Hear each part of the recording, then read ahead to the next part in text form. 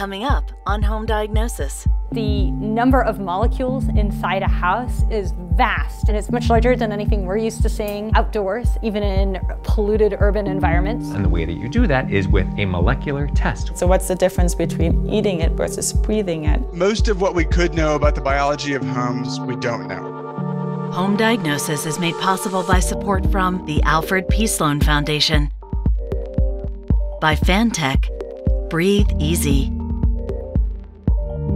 by Broan-NuTone, Come home to fresh air, by Aprilaire, Everyone deserves healthy air, by Air Cycler, Retrotec, and Santa Fe dehumidifiers, by generous support from these underwriters. And by viewers like you. Welcome back to Home Diagnosis. So far in this season, the science we've been exploring has mostly been about the dynamics of physics and the building process. Now, we're going to dive into a whole new type of dynamic that is happening in your home every minute of every day.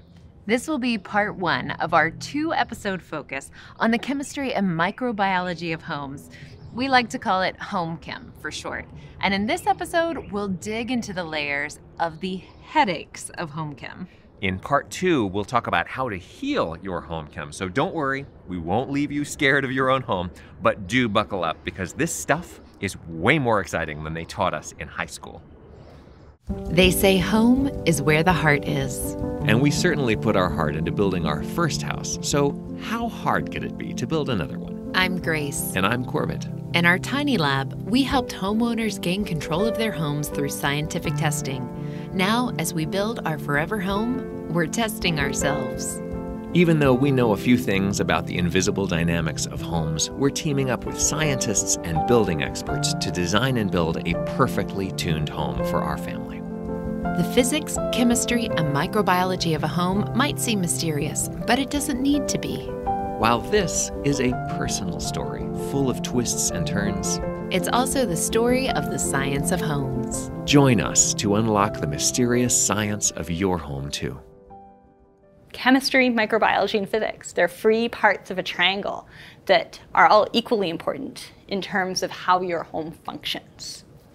Indoor Chemistry 101. I'm an atmospheric chemist, so I am used to studying molecules and particles outside and so we have sunlight and we have chemical reactions that we understand reasonably well. Indoors, we have a quite different environment. We have a very contained environment, huge amount of surface area. We have all these building materials, and we have a lot less light.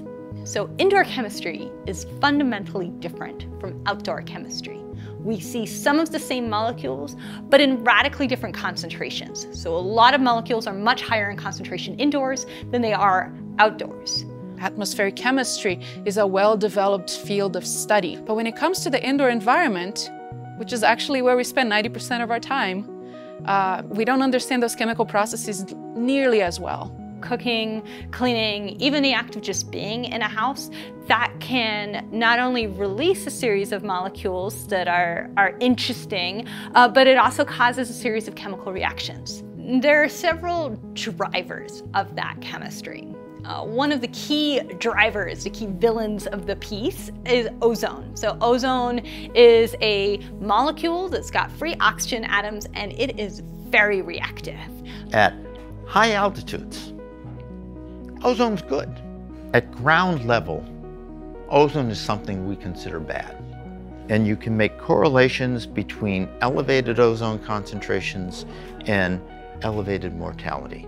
Ozone will go and find any organic molecule that has a double bond, which is an awful lot of them indoors, and it will react with them. And it will start a cascade of reactions that will create a huge number of products, our, our photochemical children, as you will. And those children are all very diverse, and some of them are completely benign and won't hurt you at all, and others can actually be quite toxic. The chemicals that your parents grew up with and the chemicals that your grandparents grew up with were different from the chemicals that you've grown up with. Synthetic carpets were relatively uncommon in 1950. Today, it's cotton or wool that's relatively uncommon. If you use a synthetic carpet, You probably have a flame retardant, at least in the carpet backing. You probably have an anti stain agent, some kind of perfluorinated chemical that's been applied to the surface of the carpet. So if you spill that wine on a white carpet, it's not a disaster. You can wipe it off. Vinyl, PVC. It's not just flooring. You know, we have PVC in synthetic leather, we have raincoats, we have shower curtains. PVC is everywhere. We have all these appliances today that we didn't have in 1950 and the appliances bring with them their own set of chemicals. Most of what we could know about the biology of homes, we don't know. If you breathe in deeply in a single inhalation, you're encountering a thousand species. Maybe five of those have been studied well. The other piece we really don't understand well, and is probably even more consequential, is what's not present in our houses, what's missing. If you compare a human house to, say, the nest of a chimpanzee, there are a bunch of species that the chimpanzee is exposed to that we're no longer exposed to leaf associated things, soil associated things. And there's an increasing awareness that some of those are very beneficial to our immune health. But which ones? Indoor air quality in your home is super important, but it's also really important on a build site too. You spend long hours in here getting things just right. And this is a very airtight house already. And we've got all kinds of things in here. We have spray paint that we're keeping inside. We have all kinds of weird solvents for cleaning tools and getting gucky stuff off. We've got this duct insulation. Which kind of smells a little bit like cat pee. And they swear that a cat did not pee on this. So it means that probably there's something in this that's coming out. So let's find out. And the way that you do that is with a molecular test, which amazingly, any of us can do. So the indoor air quality lab that we're working with sends you a pump, sends you a vial, you put one into the other, give it 20 minutes, seal it up, send it back, and then you've got the info. And they're able to use their really high quality lab equipment to really figure out every single molecule that's present in your air and tell you the likely causes of where they might be coming from. So during our experiment, we focused on three types of activities that are performed every day by, we hope, most people in, in their homes. Cooking, cleaning, and human occupancy and the use of personal care products is also part of that. As you can see, this house has come a long way. And we've got another little kiddo on the way too. we just started moving in, and I am loving our kitchen, even though it has some things still waiting to be finished. And as we know, every home is a system, and every home is unique, just like every human being.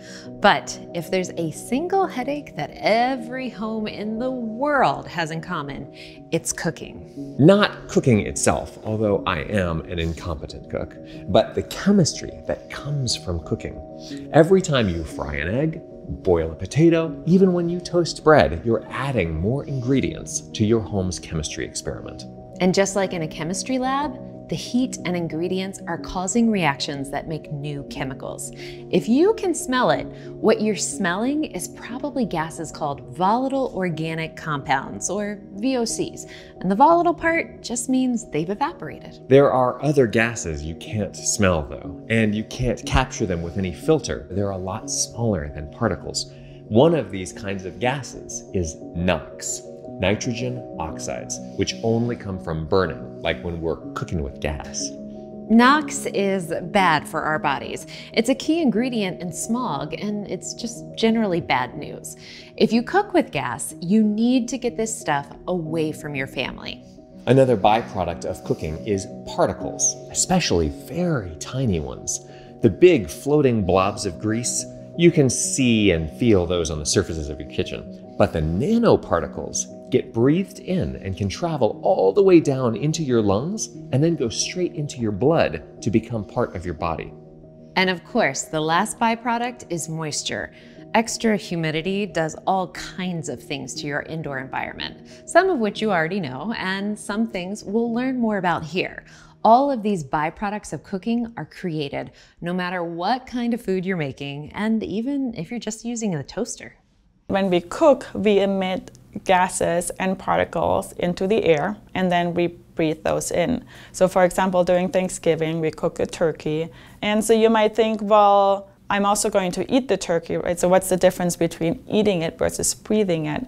So, a lot of the adverse health effects of air pollution cause you know problems like pulmonary disease, for example, or cardiovascular disease. It's a different ingestion method to be breathing it in versus to be eating it the digestive system has evolved to be ready to receive all of this external stuff. It chooses what you're going to use, you know, for energy for your body and the vitamins, and then everything else that is probably not good for your body, it gets rid of. Uh, your lungs are not that well developed. They're not trained to do that in the same way. We know for a fact that inhalation of particles that are smaller than 2.5 micrometers in size, so we call that PM 2.5, inhalation of PM 2.5 can lead to damage to the cardiovascular system. It's something that people don't really think about. The air pollution can actually damage your heart. It's very possible that they are going to end up in your brain as well, and then can affect your cognitive function over a long, long term. Would you rather have a clean home or a dirty home? we all know clean is better. I mean, it makes common sense that cleaning is good. But when we're dealing with the chemistry and microbiology of homes, common sense doesn't always steer us well. And one of the basic rules of the science of homes is that everything we do to our homes has side effects. So, in the interest of predicting and preventing side effects that might spoil things, let's dig into whether cleaning is always a good thing. But first, let's get on the same page. What exactly does cleaning mean? To a kid, it might mean piling all of your stuff in the corner of your room. and in some places in the world, it means dusting and wiping or mopping your surfaces with warm water. But here in the US, it generally means something very different. First tool we turn to for our messes will be a vacuum cleaner. And we have almost limitless options when picking our vacuum, but there's only one option that's really critical here the type of filter. Welcome to your kid's dirty room, where the dust is now sitting peacefully on the floor. And the dust is made of all kinds of different materials and chemicals and tiny creatures. If you have vinyl floors or stain resistant carpets, the dust is impregnated with especially toxic chemicals you don't want in your body or your children's bodies. So we take our handy vacuum and suck all that dust off the floor where it's resting up into the vacuum and blow it up into the air we're breathing.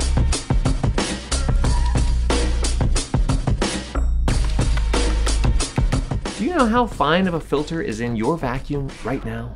If you don't care about the quality of filter in your vacuum, I promise you the manufacturer won't either.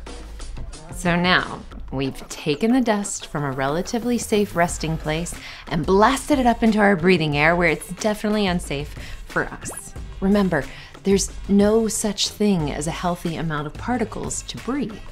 Also, if you're using a bagless vacuum, please don't empty it by banging it on the side of your kitchen trash can, making a cloud of nastiness. Take it outside, people. I would actually say that cleaning is a bit of a villain in your home. You obviously do want to clean, but cleaning itself, depending on how you do it, turns out to be able to push that chemical reactor in your house in some really interesting ways. When people think that they're trying to clean their homes by adding fragrances, burning something like incense or a candle to give it a fresher scent or spraying some kind of, of product, it may smell more interesting, but it's not cleaner. What you're doing is adding more chemistry to your home, adding more compounds to your home. So from an air quality standpoint, you're making your home even more polluted instead of cleaner. So now that we've vacuumed our home, we move on to step two in America, spray cleaners. Everyone knows you never, ever combine ammonia and bleach. The fumes from that chemical reaction will literally kill you. And actually, to keep yourself and your family safe, you should avoid ever mixing any cleaning chemicals. And in fact, the chemicals you clean with, whether they're natural or synthetic, have unpredictable reactions with the gunk on your surfaces too. For example, if you cook with tomato paste or beef, and then clean with a chlorine based spray or used chlorine based dishwasher detergent, you create lots of very interesting chemistry that can be quite toxic for you and your family. So, one piece of solid advice is to avoid chlorine based cleaners entirely, if you can. But Other cleaning chemicals create less studied chemical reactions too. So remember that in many other places in the world where people are serious about being clean, they use soap and water. Soap and water is proven to work, and you won't need to constantly worry about whether you're making your home's chemistry experiment run wild. I can count on one hand the surfaces that we've studied in which we've found no life. And in those cases, it's hard to exclude the possibility that we just haven't quite looked in the right way. We think of normal environments as the ones that we like. But from the perspective of the history of Earth, the environments that we like are really unusual and really rare. Far more lineages of microbial life actually like things that are like hot springs or like the bottom of the ocean or salt flats. And to them, those are normal because we, we've made science from a human perspective. We call those extreme environments. And so in your house, you have those all over the place. So your oven's an extreme environment, your freezer is an extreme environment, your hot water heater, your salt shaker, the little soap dish in your dishwasher, which is typically very alkaline and it's hot and then cold and wet and then dry. There are microbes from all around Earth that think these are the best places ever. And so, what we in essence do is recreate these little weird ecosystems, and some of them are harmless. And so, we found uh, amazing little salt loving microbes in salt shakers. And typically they live inside the salt crystals. And so some of them could be thousands or even millions of years old inside those salt crystals. And when, when the salt crystal dissolves, they're freed. And sometimes they're even square shaped because they evolved to sort of per- perfectly maximize space in the salt crystal. Totally harmless. Some of these habitats favor species that are problematic especially the habitats that change condition from one condition to another to, to another, those favor species that are tolerant of many different things, which appears to also increase the odds that they might be tolerant of the conditions found in our bodies. Not that it's an emergency that tomorrow we need to empty all dishwashers and, and uh, start this process over, but, but that this is the kind of thing we should know more about and we don't know much about. I think this, for me, is a really amazing part of the home that we imagine it to be sterile when in fact it's not just not sterile, but it has these very specific habitats that recreate very specific parts of the rest of the world. Okay, so let's go back to maybe high school and remember the physical states of matter. So if you start with something solid, it melts into a liquid state right? You go from ice to water. And if you keep heating that, then it'll evaporate to a vapor state or a gaseous state. So those are the basic states of matter. When we're talking about particulate matter, we are talking about tiny little particles or droplets in the air. So they could be solid, they could be liquid, and their size is going to dictate how long they stay in the air. If they're bigger, they're going to settle faster, right? If they're smaller, they can bounce around for weeks in the air. It can be pretty hard to believe in things we can't see, and everything in chemistry and microbiology is too small to see. So let's bring all these tiny things into a more human scale to explore the incredible variety of tininess there really is. If you took a single hair and blew it up into this human scale, it would be as thick as a 13 story apartment building. This giant, heavy chunk of tininess easily gets captured by any old air filter, even one you can see through. A better filter, with a rating of MERV 11, can start to make your air healthier. A single grain of pollen has become magnified now to the size of a typical bathroom in that building, and it gets stuck here. On this same scale, a particle of even tinier gunk we call PM 2.5 is the width of the bathroom door. To capture it quickly, we use a MERV 13 filter. If we happen to have a MERV 16 or a HEPA filter, then we can trap a virus, which has become the same size as your hand. And now we come to a single chemical molecule, like a VOC that you could smell. Even this magnified, it's only as big as a human hair next to our original 13 story building.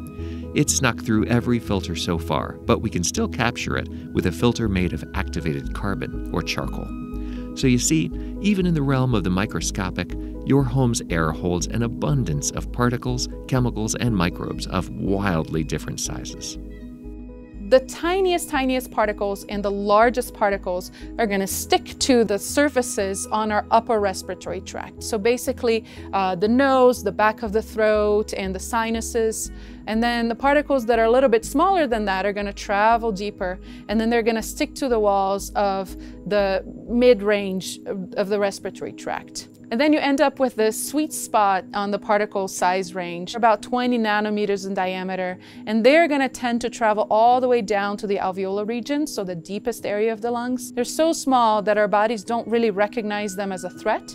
So these nanoparticles go into the bloodstream. And then once they reach the bloodstream, they're just going to travel all over your body. They could end up in organs like the liver, the heart, and the brain that are very vascularized, that take a lot of blood.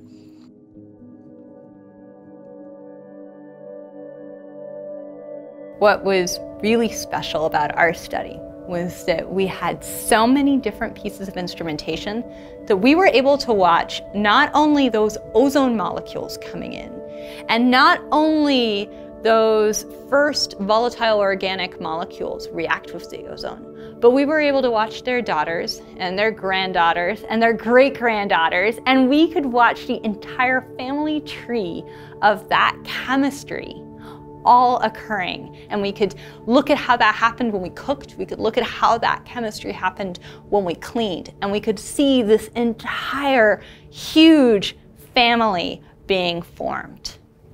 There has been this large epidemiological study called the Global Burden of Disease Study.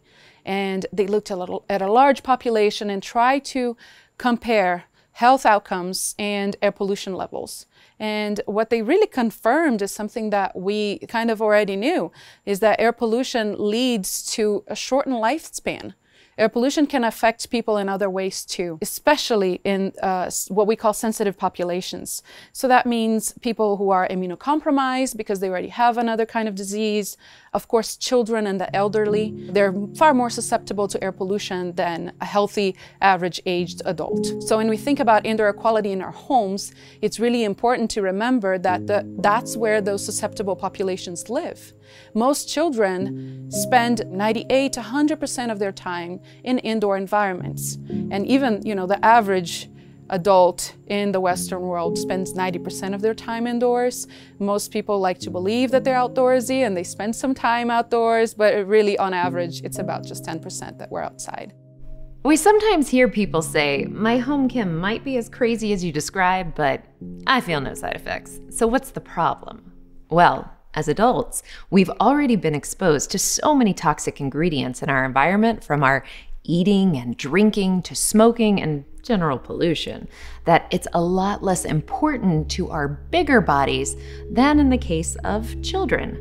Young lungs are different. Did you know that they're proportionally bigger compared to their body? And they breathe about twice as fast as ours do and every system in a child's body is developing daily. So, how much of a headache might your home chem be for your family's youngest? Meet the robot baby. The amount of pollution that babies are exposed to just by living on the floor was tested by Dr. Brandon Boor at Purdue University. This weird and adorable machine crawls and breathes, and Dr. Boor's team tests what and how much gets into their growing lungs. But is this inherently bad? Well, again, common sense might lead you in the wrong direction.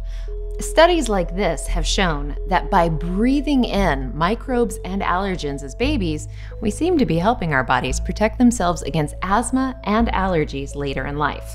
So, like anything else in the science of homes, it's complicated, which is why we created home diagnosis.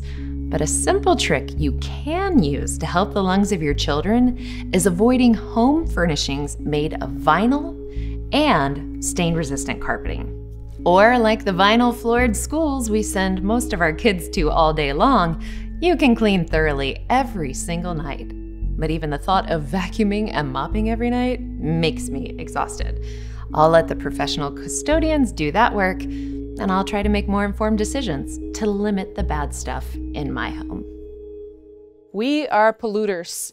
Just our mere presence is polluting the air with volatile organic compounds that we are exhaling, compounds that are present in our sweat and in our skin. There are reactions taking place with our skin oils almost all the time, especially if you're outside and there's ozone present. That ozone is going to react with skin oils and then it releases some compounds into the air. There's also a huge amount of skin flakes that comes off of our bodies every single day. That's why we shower. And there's nothing we can do about it. It's not like we're going to remove ourselves from the environment to make it cleaner, right? But it's important to understand that. We are all pigpen. As we're walking, skin cells are flaking off of us, and we're also resuspending dust that's on the floor.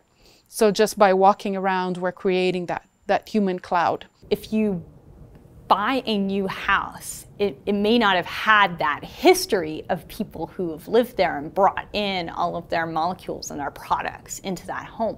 But if you move into an established home where people were living in it for the last few years or decades or longer, then you have this history of, of chemistry in the house, and that history is going to impact the air that you're breathing. We are covered in personal care products.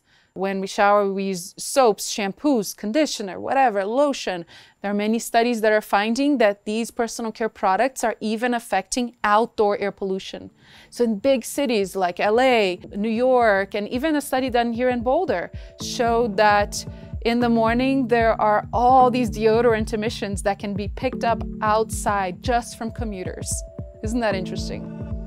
So now that we're all going to have nightmares about cooking, cleaning, and living in our homes, we'll come back with part two in the next episode of Home Diagnosis to arm you with both the knowledge of all that home chem is doing around us and how to heal the many headaches it creates. These chemistry challenges are ones we didn't even know we had in our homes, but it's always better to know, and it's exciting to see scientists really digging into the indoor environments. See you next time when we continue to test, tune, and learn more together about the science of homes as we continue to move into this one.